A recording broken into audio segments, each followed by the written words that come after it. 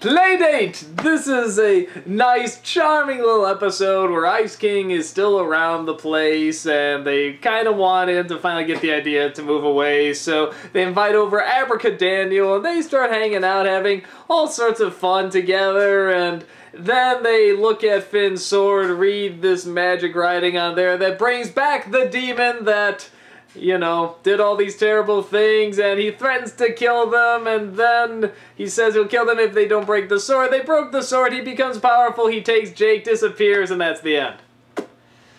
Uh, Short vlog. Yeah, um, definitely start out very playful, very friendly, and then just like went in, you know, like really intense dark at the end, which which I like. I, I like it again when you can't predict where it's gonna go.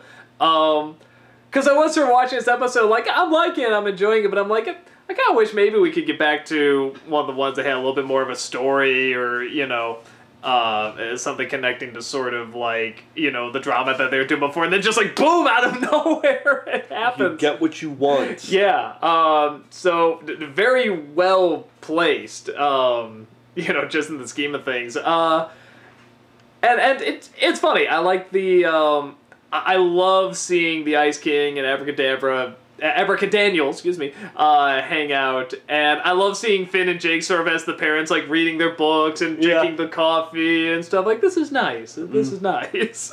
you know, while they're going around acting like kids, pretty much, and, and trying and putting on little shows and, um, uh, and, and, pretty much getting into trouble and making up little lies and stuff. I, I did call one thing though at the very beginning. I said, "Hey, wait a minute! The Ice King has his crown back. That's Gunter had the crown, so." Yeah, I, I, did kind of figure out something was up there because it turns out it's been fixed for weeks. Yeah. the Ice Kingdom. Uh, he just wanted to hang out with Finn and Jake.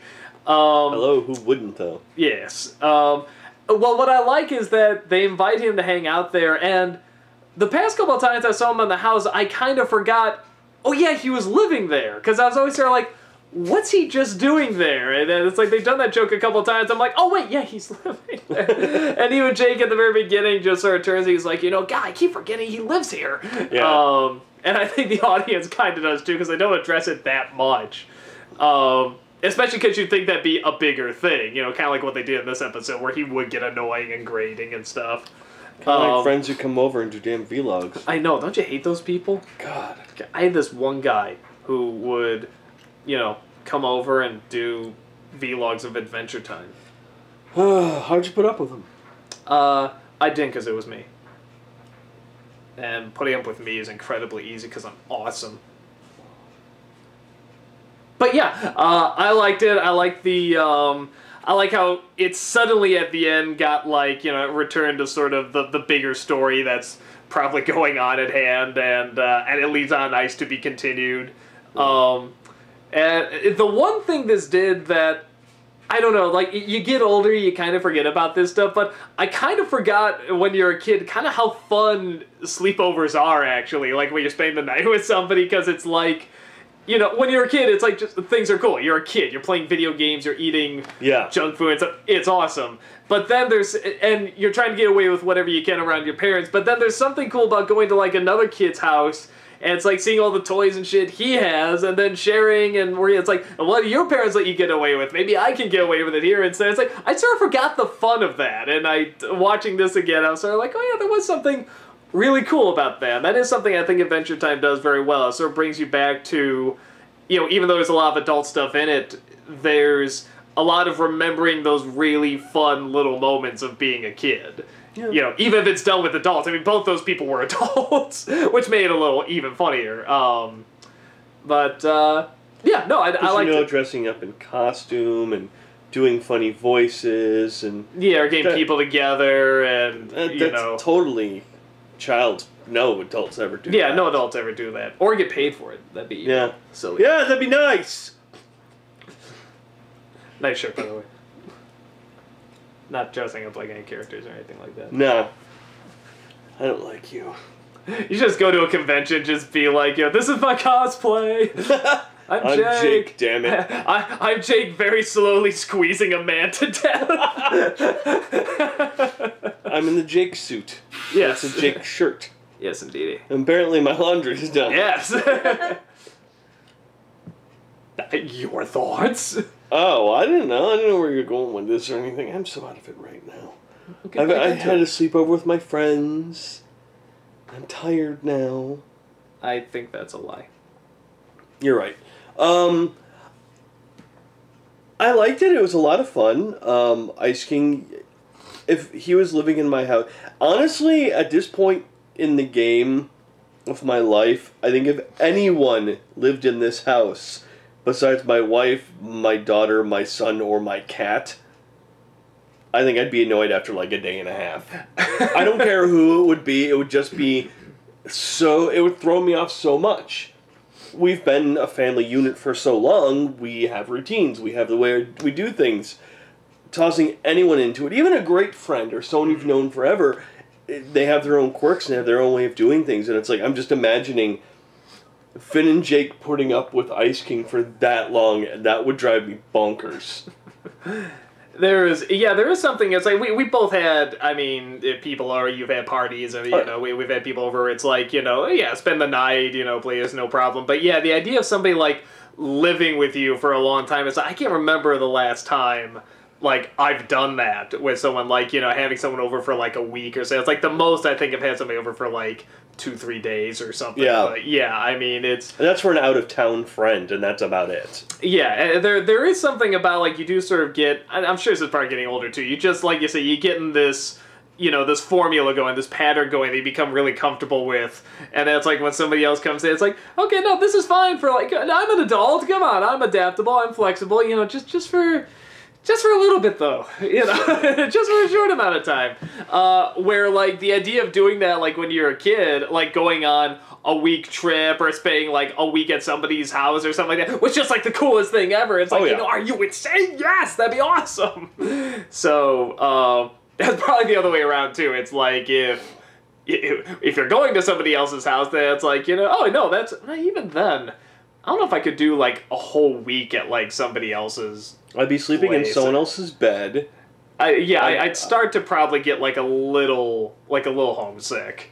So I'd um, be a little paranoid too, in a sense of, I'd hate going into their fridge and just grabbing their food. I'd hate, like, it would make me feel uncomfortable. Yeah, like, am I overstepping any boundaries? Yeah, like, like yeah. it's one of those where I'd have to show respect. But let's say I wake up at like three in the morning do I wake them up and say, "Hey, can I get a snack?" or do I not? Or like, what do I do? And, and at the same time, we know there's people that's like, as soon as they move into somebody's place or something, it's just like they just make themselves at home, even if like nobody told them to. oh no, I've been down that road way too many times. Yeah, like there's definitely people that do that too. So it's just gonna be like, and I think that's one of the reasons, like the Ice King in this. It's like, yeah, you can just get it very quickly. Can you make me a sandwich? Don't forget the bread. Don't forget the bread. no, um, I liked it. It was it was it was interesting. Once the demon showed up, I really liked that. It's uh, I like how the demon's holding both Abracadaniel and the Ice King. He's like, if you say the words to try to send me back, I'll you know disintegrate them. And Jake just starts saying it. It's like Finn's like, no, I thought he was bluffing. Well, and uh, I, how long are the words? I mean, is it something where you could say it really fast so you wouldn't have a chance to kill him, or is it like a really, really long? No, it's it's pretty short. Remember, it's uh, God, what was it? Oh, see, I want to say, oh, I don't remember, but it's like. That's it. yeah, it's like they, they could have done it, you know. but this is one thing I'll say definitely for Finn and Finn's character. Ice King, who was his enemy, Abracadaniel, who's kind of a waste of space, Ice King, who's kind of a waste of space, he's willing to give up one of his. Finn's willing to give up like a prized possession. It wasn't just something he got in some dungeon. I mean, yes, it is something he got in some dungeon, but but it, it means a lot more. Like it's it's his from his father. It, yeah, you know, and all of that stuff. He's willing to break it with, you know, he's like, I can't, and he's like, the guy's like, all right, and he's like, okay, fine, and he does it. Like, it'd take a lot more for me to, you know, break something that important, I think, uh, than two people that I'm not incredibly fond of. Yeah, that is true. It wasn't like, you know, the Peebles or something like that, you know. Excuse me. Sometimes. Um, you know, or anything like that. Yeah, it was just these two pretty annoying people. One that has been an enemy on several occasions. Yeah. so yeah, no, that's actually a good point. I think you're right. It is kind of a testament uh, uh, to his character and what a good kid he is. Finn, I mean, he's been through a lot of hardships, but even when it comes down to it, he's willing to sacrifice for people he's not even incredibly fond of. So, I liked it. It was okay.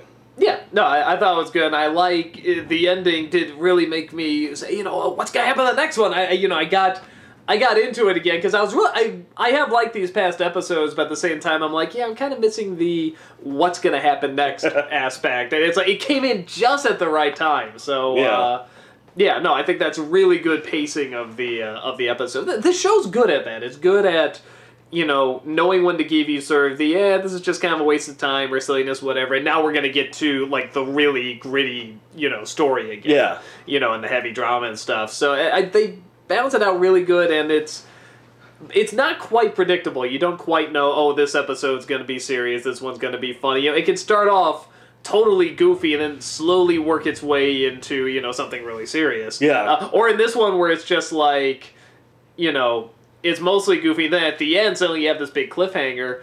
You know, or again the Holly Jolly Secrets where it's just like. What is this building up to? And then just like, you know, boom, something so dramatic, you know, Yeah. and just like this big, you know, huge puzzle piece that just puts so much together. Uh, so they're really good at that. They're still really good at just throwing in these little surprises and, and spacing them out. Oh, I agree. That's it.